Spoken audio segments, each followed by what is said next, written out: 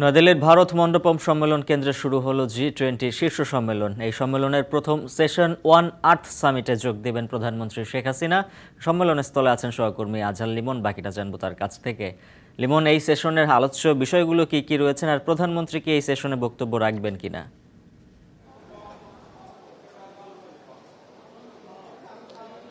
উজ্জ্বল ভারত মণ্ডপমে আছি। এটি দিল্লির সর্ববৃহৎ সম্মেলন কেন্দ্র। মূলত জি টোয়েন্টি সম্মেলন অনুষ্ঠানের জন্যই মূলত এই বিশাল এবং আধুনিক এই সম্মেলন কেন্দ্রটি করা হয়েছে।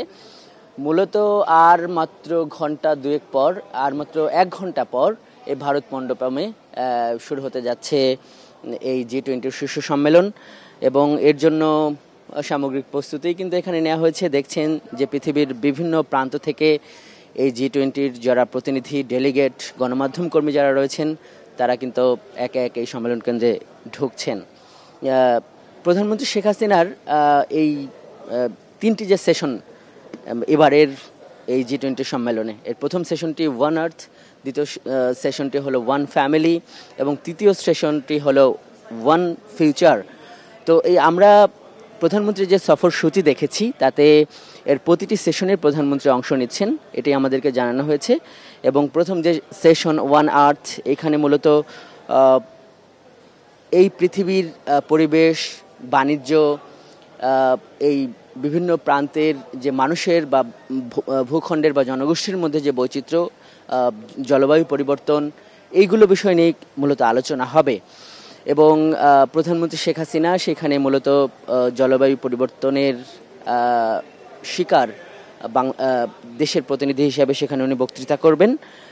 এবং এই সেশনটি প্রথমেই ওয়ান আর্থ যে সেশনটি, এটি মোটামুটি বিকাল তিনটা পর্যন্ত চলবে। তারপরই এখানে শুরু হবে দ্বিতীয় যে সেশন ওয়ান ফ্যামিলি তো আমরা এখানে মূলত যেটি দেখছি সেটি হলো যে ভারত এই জি টোয়েন্টি সম্মেলন অনুষ্ঠানের ক্ষেত্রে মূলত এই তারা এবারের যে স্লোগান এক পৃথিবী, এক পরিবার এবং অভিন্ন ভবিষ্যৎ, এটি তারা যে নিয়েছে, তাতে আমরা দেখতে পাচ্ছি যে তাদের যে মহাভারত উপনিষদ থেকে একটা শ্লোক সেই শ্লোকের থেকেই অনুপ্রাণিত হয়ে এটি নিয়েছে এবং জি টোয়েন্টি যেহেতু একটি অর্থনৈতিক ফোরাম ছিল এবং এটার মূল বিষয় দেখার ছিল যে সামগ্রিক বাণিজ্য অন্যান্য বিষয়, কিন্তু এবারের জি টোয়েন্টিতে আমরা দেখছি যে আসলে অংশগ্রহণকারী উনিশ দেশ, সংগঠন এবং আমন্ত্রিত নয় দেশের একটা সংস্কৃতির একটা মেলবন্ধন কিন্তু এখানে আমরা দেখতে পাচ্ছি।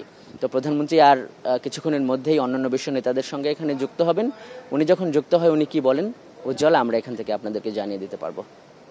নয়াদিল্লি থেকে যুক্ত হয়েছিলেন সহকর্মী আজহার লিমন এবং জানাচ্ছিলেন জি টোয়েন্টি সম্মেলন শুরু হবে এবং আজকে রয়েছে তিনটি সেশন এবং তিনটি সেশনে অংশ নেবেন প্রধানমন্ত্রী শেখ হাসিনা।